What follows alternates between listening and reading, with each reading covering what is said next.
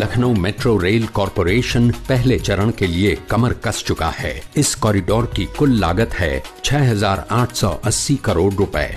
North south corridor का कुल 22.878 kilometre का रास्ता चौधरी चरण सिंह हवाई अड्डे से मुंशी पुलिया तक है। प्रारंभिक चरण में इस परियोजना के लिए 1300 करोड़ रुपए केंद्र सरकार जबकि दो हज़ार एक सौ तिरासी करोड़ रुपए राज्य सरकार और उसकी सहयोगी संस्थाएँ दे रही है। समय की रफ्तार से आगे Lucknow metro Lucknow metro Lucknow metro Lucknow metro.